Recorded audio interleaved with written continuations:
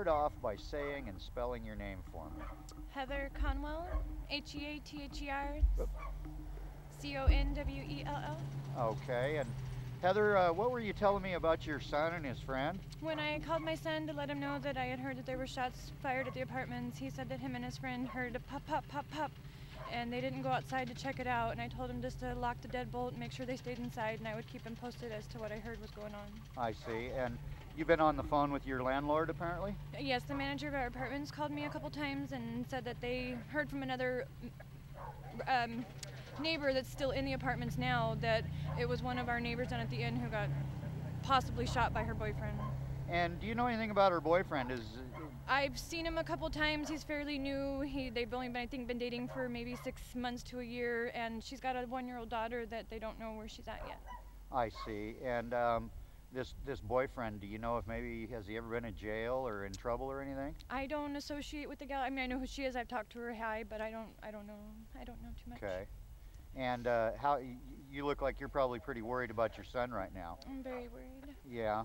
So they won't let you in, No, and they won't let him out. no. I see.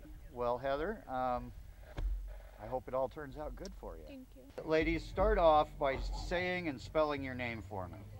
Do we have to? Yes. Kari. K A R I. Okay, and your last name, please. Morton. Okay, how do you spell that? M O R T O N. Okay, and, and you, ma'am? Debby Federico. And can you spell it for the guys back at the studio? D E B B Y F E D E R I C O. Okay, and uh, what do you guys know about the, the going on here in Turner, Oregon tonight? Well, we were just inside with friends at a party, and my husband and Kari's husband saw police cars drive by, and we just heard there was a shooting down at the apartments on the main street in Turner. I That's all we see. know. D- uh, does either of you know what those apartments are called? No. Do you? I could find out. They're they're they're on uh, Third Street and uh, along about Valview or so, aren't they? Delaney? Delaney, Delaney. okay. Close to Delaney, yeah. And um, what all have you heard about this? Well, the fellow that just went in said they had the scanner on and they heard that there was a hostage And Um, a child that was shot. and one person is reported dead. Huh. Okay. Well, um, maybe you guys ought to go inside and lock the doors, We huh? probably should. All right, ladies, have a good Okay. night. And start off by saying and spelling your name for me. My name is Erin O'Brien, E R I N O B R I E N. Okay. And Erin, I understand that your house is right next to the apartment complex in question tonight. Yes. Um, is there anybody, any of your family members in, stuck in the house? No. Okay. No. Uh, What about any of your neighbors? Have you heard anything about them?